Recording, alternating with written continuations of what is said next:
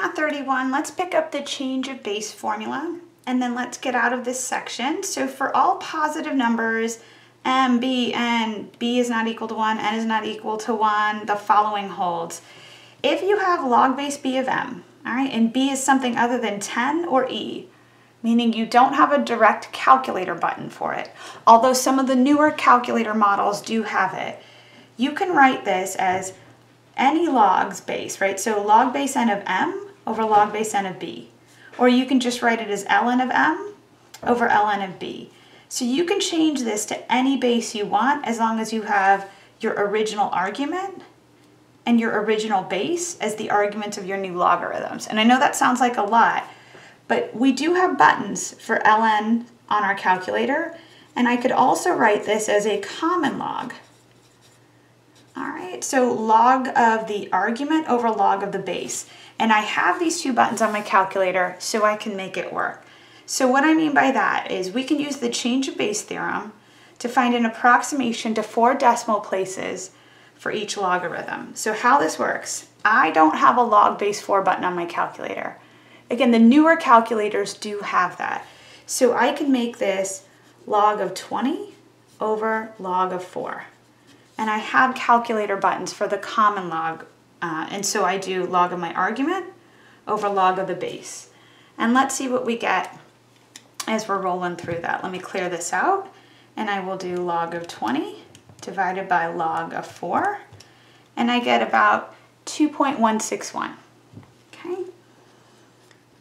And that should be in line with what we would have guessed anyways. Just as we're thinking about this, we know 4 squared is 16, and 4 cubed is 64. So I would think the exponent I needed on 4 to get to 20 would be much closer to 2 than it was to 3 because 20 is closer to 16 than it is to 64.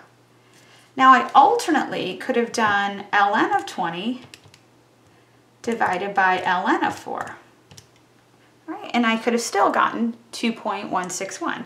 Oh, actually, we needed to go four decimal places, my bad. So this would have been 2.1609. Oh, but this is telling us to round up. So I would round this to one zero. There is my fourth decimal place, okay? All right, similarly over here, we can make this log of 0.7 over log of 2. And if we calculate that on our calculator, we're going to get log of, oops, excuse me, 0.7 divided by log of 2. And I am looking at negative 0. Point, okay, I would go four decimals. Look at the fifth one. It's telling me to round up. So we will go 5146.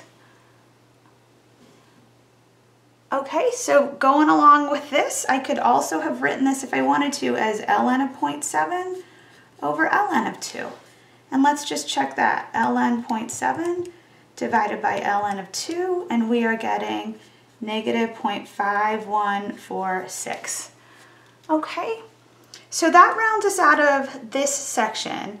And I just want to mention that for this change of base, like if you ever need to graph something like log base 2 of x, you could rewrite that and just what I'm saying here off to the side. If, if I ever wanted you to graph log base 2 of x on your calculator, and we don't have that log base 2 button, now you can type this in as log of x divided by log of 2, or you could have done ln x over ln 2, and now we can graph those functions. So those functions we were graphing in the last section and we didn't have calculator buttons for, we can use that change of base formula and get that to work. All right, so we're rounding out of this section. All right, so I'm hoping that we feel a little bit more comfortable now using these properties of logarithms to either simplify or to expand expressions. And then we've got our change of base formula. All right, so with that, we're heading on to 6.6, and we're gonna talk about how to solve logarithmic and exponential equations. I will see you in a bit. Bye.